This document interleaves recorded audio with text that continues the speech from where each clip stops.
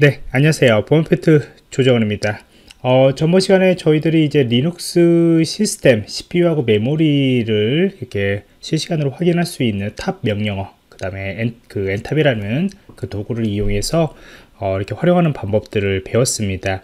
어, 이번 시간에는 이제 시스템과 CPU 정보가 아니라 웹 로그 analyze로 활용할 수 있는 오픈소스 도구를 좀 하나 설명을 하려고 합니다.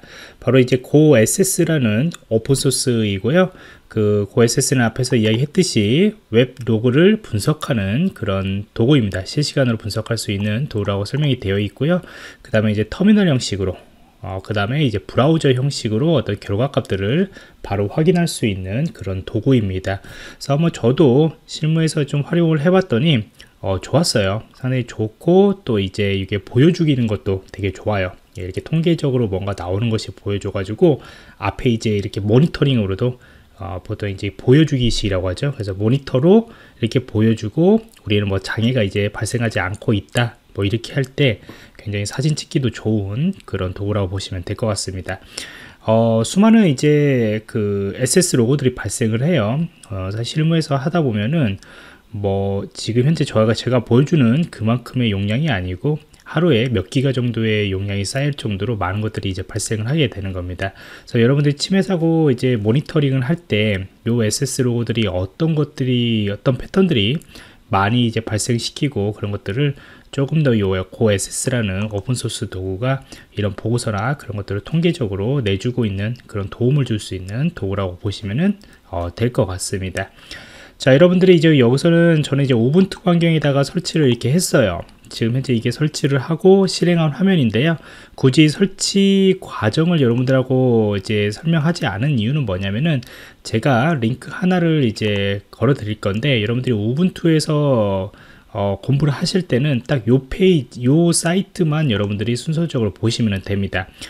어, 실행하는 그 설치하는 과정들이 조금 복잡하게 보여요. 굉장히 많은 라이브러리나 그런 것들이 설치를 하다 보니까 복잡하게 보일 뿐이지, 여기에서 제시한 방법대 그냥 쭉 명령어들을 여러분들이 복사해서 사용을 하셔도 충분히 어, 여러분들이 이것을 가지고 설치가 가능합니다.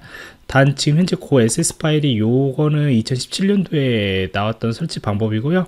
어, 최근 버전으로 예, 다운로드 받으셔가지고 설치하셔도 예, 상관이 없습니다. 그래서 쭉 설치를 동일하게 해 주시고요. 그 로그 파일 같은 경우에도 실제 access 로그, 우리가 아파치 access 로그들을 여기에다가 이제 연결을 해가지고 보시면 됩니다. 그래서 다 설치를 하고 난 뒤에 바로 이것은 HTML 페이지, 나중에 access 파일이 다 생성을 분석을 하고 난 뒤에 그 access 로그를 HTML 형식으로 이렇게 보고서를 하는 과정들이 제일 하단에 나와 있고요. 그 다음에 이것이 지금 현재 고 SS의 SS 로고를 이제 보는 터미널 형식으로 보는 방법들은 바로 이런 식으로 실행을 시키시면은 여러분들이 터미널 형식으로 볼 수가 있습니다. 자, 요게 이제 고 SS가 실행되는 화면이다. 터미널의 화면은 그 실행되는 화면이고요. 지금 현재 액세스 로고 파일들을 모니터링을 하고 있습니다. 실시간으로요. 그러면 이제 실시간으로 실제 제가 칼리 리눅스에서 Nikto라는 웹 취약점 진단을 이용해서 한번 데이터를 그 패킷을 한번 여기다가 날려보도록 하겠습니다. 자 이렇게 하면 갑자기 급속하게 늘어나고 이쪽이 변화가 되는 것을 볼 수가 있겠죠. 현재 이것이 not found URL 404 페이지 부분 같은 경우에도 순서가 좀 바뀌는 것을 볼 수가 있고요. 그 다음에 실제 이쪽에서 유입이 되고 있는 것을 예, 볼 수가 있습니다. 다른 정보들도 이게 조금 조금 움직이기 시작하죠. 현재 히트에 되고 있는 것을 좀 볼 수가 있고요. 그래서 이렇게 어, 실시간으로 access 로그들을 어, 보고 있는 거예요 지금 현재 보고 있고요. 자, 이거는 이제 콘솔로 보는 거기 때문에 여기서도 조금 이제 그 help 파일을 보면서 여러분들이 몇 개의 키들을 좀 봐야 합니다. 어, 이거 SS 로고들을 이제 실무에서 분석을 할 때도 이렇게 실시간으로 보는 것들은 하나의 모니터링이고요.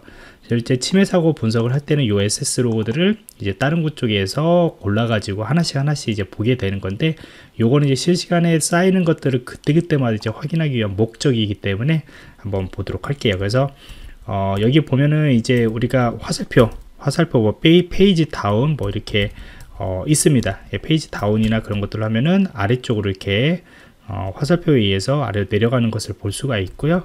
그 다음에 여기에 번호가 써 있어요. 지금 현재 보면은 이렇게 2번, 3번 이렇게 번호가 써 있단 말이죠. 그래서 여러분들 키 2번을 누르시면은 여기에 이렇게 하나가 이렇게 생깁니다. 좀 내려가는 게 뭔가 확장이 되는 기분이죠.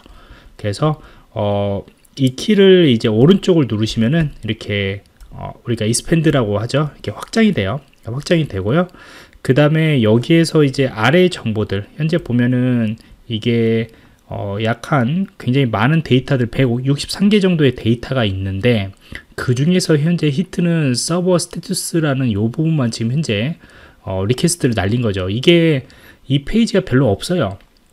페이지가 그냥 딱 아파치 2 서버가 하나 돌려 돌아가고 있는 것만은 거기서 이제 스캔을 때린 거기 때문에 이쪽만 지금 현재 이 페이지들만 몇 개만 존재하는 것을 볼 수가 있고요. 어, 163개인데 지금 현재 아래쪽으로 나면 이게 163개가 아니죠. 그래서 여기 이 상태에서 여러분들이 이제 J라는 예, J를 누르면은 아래로 이렇게 내려가요. 예, 아래가 이렇게 아래로 내려가서 이렇게 어, 그 아래 것들이 예, 아래 것들이 현재 어, 검색이 되는 것을 볼 수가 있겠죠.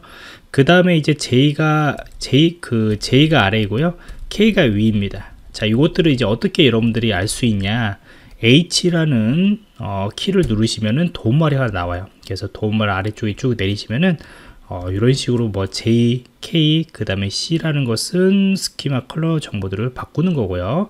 그 다음에 이제 up, 뭐 다운로드, up, down 하면은 이제 메인 그 대시보드가 이제 scroll up 되고 다운로드 된다고 나오죠. 그래서 다운로드 하면은 요거는 이제 하나씩 하나씩 되는 게 아니고 이제 페이지로 이제 되는 거죠. 페이지로 끝까지 가는 것을 볼 수가 있고요. 그 다음에 여러분들이 탭을 누르시면은 이렇게 3번 쪽에 찍히고 4번 쪽에 선택이 이렇게 되는 거죠. 그래서 다시 또 어 이제 키 오른쪽을 누르시면은 다시 확장이 확장이 되겠고 J를 누르면은 아래쪽으로 내려가면서 여러분들이 어떤 파일들이 있는가 이렇게 쉽게 볼 수가 있습니다. 그래서 요 같은 경우는 access 로그 파일들을 바로 이렇게 하나씩 하나씩 열어서 보는 것보다는 리얼타임으로 보면은 아 요거는 스캔을 하는 과정이구나 아니면 뭔가 백업 파일을 찾으려고 하는구나 이런 것들을 바로 확인할 수 있다는 것이죠. 그리고 이제 특정한 IP에서 굉장히 많은 것들을 히트를 치면은 자동 스캔 도구를 시도하는 걸로 보이기 때문에 바로 또 대응이 가능한 것이고요. 어떻게 보면은 이제 모니터링 자체로만 봤을 때는 IPS나 IPS 이게 침입탄지 시스템에 가서 이 로고들 IP 찍고 보는 것보다는 훨씬 더 빠르게 여러분들이 대응을 할 수 있다는 거죠. 앞에서 제가 얘기했지만 어떤 그 모니터링 포장이라고 얘기했죠. 보기 좋다. 그래서 그 모니터에 뭔가 이렇게 이것을 띄워놓고 보면은 뭔가 실시간으로 보이니까 보기 좋다라는 것이죠. 예, 보기 좋은 겁니다. 그래서 여러분들이 뭐 탭탭 탭탭 누르면은 여러 가지 referrer 주소 정보들 그 다음에 뭐 사이트 정보들 나오고 그 다음에 브라우저를 뭐 사용하고 있는가 그런 정보들도 나오고요 그 다음에 이거를 shift tab을 누르시면 그 전으로 들어가요 탭10 누르면은 5번, 6번, 7번 탭으로 들어가는 거고 쉬프트 누르고 탭10 누르시면 그전 걸로 가시는 것이고 그 다음에 마우스 오른쪽 그 키 오른쪽 누르면 확장이 되는 것이고 J를 누르면 아래로 K를 누르면 위로 이것만 옵션을 여러분들이 알고 계시면 될 것 같습니다 자, 그 다음에, 그 다음에 아까 살펴보지 않은 것들이 있었죠? 어떤 거냐면은, 우리가 요거 중에서, 어, 요거 아래쪽, 요거죠? 제일 아래쪽 명령어와 요게 HTML 리포트로 어, access 로그에 대한 것들을 통계를 내서 저희들한테 제공을 해준다.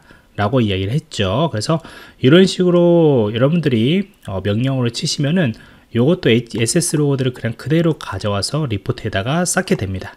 자 그러면 어떻게 보이는지 한번 보도록 할게요 자 리포트에 지금 현재 보면은 어, 여기에 어, 자 이렇게 보면 리포트 점 이렇게 예, 리포트 점 html이라고 있고 데이터가 계속 쌓인 것을 볼 수가 있습니다. 예, 계속 쌓인 것을 볼 수가 있고요. 이쪽에 보시면 이제 localhost에 저 같은 경우 어, report.html 생성이 됐죠. 아까 실행을 할 때도 이쪽에다가 생성을 하고 하라고 했기 때문에. 그래서 여기다가 생성을 하면은 어, 실질적으로 원격에서 이 웹 서비스가 돌고 있기 때문에 예, 돌고 있기 때문에 report HTML에 붙어 가지고 바로 원격으로 도 확인할 수 있는 그런 페이지입니다. 그래서 이쪽에 이제 확인해 보시면은 이런 dialog가 나와. 처음에는 이제 좀 다르게 나오는데 저는 이제 여기에서 설정을 통해 설정을 통해 가지고 이거를 이 어, 이거를 이 vertical이 처음에는 이제 vertical로 돼 있어요. 이런 식으로 이게 돼 있는데 요것들을 바꾼 겁니다. 그래서 horizontal로 이렇게 바꿔가지고 양 사이드로 이렇게 보게 된 것이죠. 자 여기에도 똑같습니다. 여기 보면은 이제 요것은 레포트 같은 경우는 각각의 뭐 이렇게 어떤 개방식이나 폭방식이 각각 시간대별로 어떻게 되어 있는가? 뭐 이런 정보들을 이제 볼 수가 있고요. 그 다음에 이제 뭐 아래쪽으로 쭉 내리시면은 각각의 정보들이 이제 뭐 스테트 커리 같은 거나 파운드 URL URL 정보 찾지 않은 예, 없는 페이지죠 없는 페이지나 그런 것들을 이제 통계내 가지고 볼 수가 있습니다. 그래서 이런 정보들 같은 경우는 나중에 이제 뭐 보고서로도 활용할 수가 있고요. 그 다음에 GUI 환경으로 바로바로 여기에 보면은 데이터들 쌓인 것들도 바로 볼 수가 있어요. 아래쪽에 이렇게 보시면은 이렇게 화살표들 있죠. 지금 데이터들이 좀 뭐냐 IP나 그런 것들이 한 곳에서 발생을 시켜 가지고 데이터들이 이쪽에는 없는 것 같고 뭐 지금 현재 request 정보 했던 그런 것들 같은 경우에는 데이터들이 많이 쌓였을 것 같아요. 자 그래서 이런 그 보고서 형태들도 여러분들한테 바로 제공을 해주기 때문에 GoAccess 파일이 실제 실시간으로 이렇게 페이지들 그 요청 값들을 분석하는데 굉장히 유용한 예, 도구라고 보시면 될것 같아요. 그래서 앞에서 봤던 그 ntop 그 다음에 여기서 본 GoAccess 파일 요것들을 여러분들이 어, 리눅스 서버를 운영을 할 때 두 개를 기본적으로 운영을 해서 침해 사고 분석을 할 때에도 여러분들이 좀 유용하게 어, 사용할 수 있을 것 같습니다.